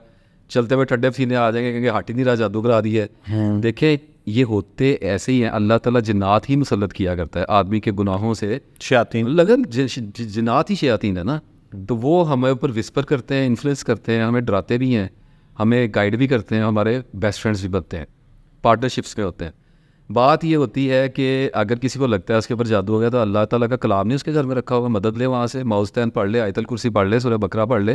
अल्लाह ताला को याद करता रहे तस्वीर याद करे नमाज़ रोज़ा अपना पूरा रखे। और करेक्टर को थोड़ा सा बेहतर अब सारा कुछ करने के बावजूद रात को बंदे ने कोई गलत सी चीज़ लगा के बैठ जाना अगले दिन कहना मेरे पे जादू हो गया। ये तो एक वियर्ड चीज़ है ना ऐसा अजायबात में से है ना। थोड़ा सा अपना जायज़ा लेना पड़ता है। और अगर ये सारा कुछ आप बेहतरी की कोशिश कर भी रहे हैं तो इसके बावजूद अगर आपको सिम्टम ऐसे लग रहे हैं तो मेरा मशवरा ये है कि सिकेटिस्ट के पास जाना ज़्यादा बेनिफिशियल है। क्योंकि देखिए जो हिस्टेरिया कभी जिन होता था अब ये हिस्टेरिया है। मिग्रेन कभी जिन होता था अब ये मिग्रेन है। तो इस तरीके से जिन्नात के अब नाम रखे जा रहे हैं और उनकी मेडिसिन ईजाद हो रही हैं। हाँ। तो ये कॉन्सेप्ट अब एनशियट होता मतलब है कि आप जिनात का लाज एलोपैथी में आ गया है। आ गया लेकिन कुछ लोगों के साथ rare rarest of the rare कुछ लोगों के साथ ऐसे मामला होते हैं। और मैं यहाँ पे ये भी खबर एक दूँ कि जिन लोगों के साथ ये होते हैं ना उनका माइंड इसमें बहुत इन्वॉल्व होता है। अच्छा। चिल्ले वजीफे औरतें घरों में हर वक्त ये चीज़ें पढ़ती है एनी बारी पढ़ाएँगे तो आया हो जाएगा एनी बारी पढ़ाएँगे तो आया हो जाएगा तो जब आप जिस भी आप ख्याल के थाट में होंगे आपके साथ मैनिफेस्टेशन उसी तरह की होनी है। एक आदमी हर वक्त सोच रहा है मेरे एक्सीडेंट बहुत होते हैं मेरे एक्सीडेंट एक्सीडेंट ही होते हैं और क्या होना है उसके साथ? ये कोई लॉ ऑफ़ अट्रैक्शन नहीं है। अल्लाह के बारे में आपका गुमान ही ये है कि उसने मेरे साथ अच्छाई करनी नहीं है। तो गुमान अल्लाह पे ये रखा हुआ है कि मेरे से जादू ही कराना है मेरे ऊपर। तो वो फीलिंग और वो सिम्टोमेटिक माइंड तो सिम्टम्स जनरेट करता है। एक इंसान जब सोता है और उसको लगता है कि एक शख्स कोई जिन हाथ या कोई मेरे ऊपर आके बैठ गया और मैं साथ नहीं देता। हाँ। आ, बड़ा सख्त अमल होता है। वैसे मैं भी गुजरा हूँ उससे सारे गुजरते हैं ठीक सारे गुजरते हैं। तो वो बड़ी कोशिश होती है इंसान की कि मैं इससे निकल हाँ, जाऊँ किसी को किसी को बुला सके लेकिन ये क्या फिनोमिना है? नहीं देखें अगर तो आ, कुछ चीज़ें ऐसी तो जेनेटिक भी आ रहा होता है सेंसिटिव लोगों के साथ होता ही होता है। अच्छा। तो मैं तो इसको बड़ी डिटेल से एक्सप्लेन कर चुका हूँ यहाँ पे तो नहीं मैं अब करना चाहता मसला ये है कि एक तो सब्र करना चाहिए और तस्वीर हाथ करनी चाहिए। अल्लाह से बोला आयतल कुर्सी पढ़ ली है पढ़ ली है बिस्मिल्लाह ज़रूर आप पढ़ ली है। रबिया उस भी कहीं या ज़रूर आपने पढ़ ली कुरान पाक की आयत अब उसके बाद अल्लाह जो दिल करता है अल्लाह का दिल है अल्लाह जैसे डिवाइन है। अगर थोड़ा बहुत डरा रहा है डर लें कोई बात नहीं सब्र करेंगे तो अल्लाह आपके साथ है हटा देगा आपसे। अच्छा अगर ज़्यादा शिद्दत इख्तियार कर गया है तो थोड़ी देर के लिए पंद्रह बीस दिन की दवाई खाने खत्म हो जाएगा एक एक दिन की मेडिसिन का खत्म हो जाता है इतना सा होता है। लेकिन वो आपने कहीं शायद आपका मैंने सुना था या किसी के लेक्चर में मैं सुन रहा था कि रूह की वापसी और इंसान के प्रोसीजर है मैं उसी पे बात नहीं करना चाह रहा था इंसान के जागने के दरमियान मतलब इंसान बेदार हो रहा है जी। और रूह वापस लौट के आ रही है। जब कॉन्शियस एक्टिवेट हो रहा होता है हाँ, सिंपल तो उस दौरान के जो वो वो टाइम में झटका लग जाता है झटका लग जाता है। कभी कभी बेखाबी का आदमी शिकार होता है गैस्ट्राइटिस का लोगों को बड़ा मर्ज है। रात को दिल की धड़कनें तेज हुई होती है, नींद टूट रही होती है। उस जब टूटने, जुड़ने में झटका कभी, इस तरह का भी लग जाता है साइकोटिक ब्रेकडाउन आ जाता है और उसमें लगता है, और देखें, अल्लाह के कलाम से मदद लेनी पड़ेगी। मैं कहूँ कि ये कुछ भी नहीं है। आप दवाइयाँ खा लें तो साइकोटिक हो जाएगा बंदा। तो कुछ ना कुछ आप आयतल कुर्सी पढ़ लें, अपने आप पे फूकें, अल्लाह से रो के दुआएँ मांगें कि अल्लाह मुझे डर बड़ा लगता है, मुझे इस वजह से निकालता है। और सब्र के साथ फिर शिफा आने का इंतज़ार करना होता है। लेकिन मैं बार बार कहता हूँ कि अगर किसी को पैरालिसिस अब मुझे जब हुआ था तो ये मैट्रिक की बात है मुझे कोई छः सात महीने ऊपर नीचे हर दूसरी रात मुझे अब मैं मरने वाला हो गया कि ये क्या मेरे साथ हर रोज़ तमाशा लग रहा है। अच्छा। ठीक है। अब उस वक्त पता नहीं था एक दो विच डॉक्टरों के पास दोस्त ले गए कि राती डर जाता है तो कुछ छाती तो भी शायद रह जाती है तो अब वो मसला ये बना कि आ, कुछ कर तो अल्लाह ताला ने बचा ही लिया कुछ नहीं उल्टा सीधा किया। तो छः सात महीने के बाद वो ऐसा गया कि आज तक नहीं मेरे पे आया। और अक्सर लोग गवाही देंगे जो लोग वीडियो देख रहे हैं कुछ लोगों को हुआ होगा फिर हट गया और कुछ लोगों को फिर बाद में दोबारा हो गया रेयर हो गया ये चीज़ चेंज होता रहता है। आपकी मेंटल कंडीशंस के ऊपर डिपेंड करती है चीज़। अच्छा। हाँ। कि इंसान की जहनी सेहत कैसी है? हाँ कोई मरेगा नहीं इससे। अच्छा। हाँ टोटली फेयर वैसे उस वक्त एक दफे लगता है इंसान को लगने दे देना जब आपने उठ ही जाना है तो फिर बात खत्म हो गई डरने की बात किया थोड़ा सा डर ले। थोड़ा सा हम्म, नफ्स के तज़किए के ऊपर अगर प्लीज़ बात कर लें हम कि नफ्स कोई इंसानी रूप की चीज़ है क्या इसको काबू किया जा सकता है? नफ्स का कंट्रोल जो है is the most important thing जी इस पर आप बहुत बात करते हैं आपकी किताब में इसके ऊपर बड़ी बात। तो कैसे करे कोई शख्स अपने नफ्स को काबू? Word control is the worst form of suppression I have ever heard control का मतलब जबर है। कंट्रोल का मतलब एक ये इतनी एक डार्क एनर्जी है। कि I want to control my kids I want to control my family and I want to control my money and my my life and even my Darul आखिरा भी। मैं कंट्रोल करना चाह रहा हूँ हर चीज़। तो कंट्रोल वगैरह तो कुछ नहीं होता सर। नफ्स काबू नहीं होता। अच्छा। क्योंकि नफ्स है ही कुछ नहीं ना। नफ्स हम खुद हमने अपने आप को क्या काबू करना है? करेक्टर अच्छा करेंगे नफ्स मुझमें होता चला जाएगा। अल्लाह ताला का जो माजवल है वो तो यही है हमारा लवामा और उसके बाद मुतमिना वो आपकी बात ही हो रही है। आपकी स्टेट मेंटल स्टेट्स है।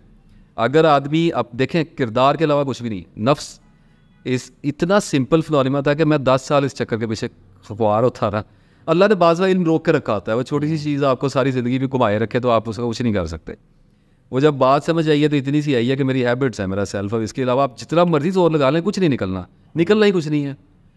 लोग आ कहेंगे, जी, हमें पता है जी, इसको कुछ नहीं पता। मैं कहता हूँ, इसके अलावा कुछ भी नहीं निकलेगा। जो मर्ज़ी कर लें आप, दस साल और ज़ाया कर लें, बीस साल ज़ाया कर लें। मेरा नफ्स, ना सिर्फ़ तकार का नफ्स, वो है जो उसकी नफसियात है। मेरी नफ्सियात क्या है? वो है जो मेरी हैबिट्स हैं, जिनको मैं डेली रिपीट करता हूँ।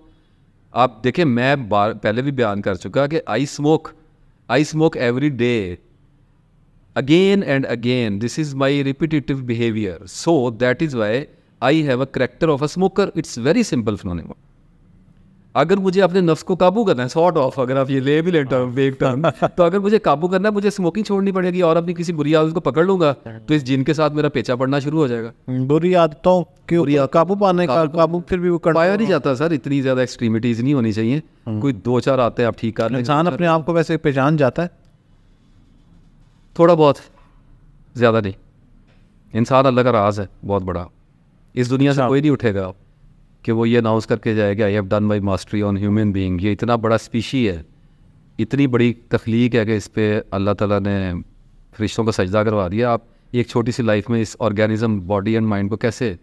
हाँ थोड़ा बहुत अपने जोगा आदमी इस पर दस्तरस ले सकता है। बासिर साहब हमने काफ़ी वक्त लिया आपका और मेरे ख्याल में जितनी चीज़ें आज मैं क्लियर करना चाह रहा था पता नहीं चला वैसे वक्त का।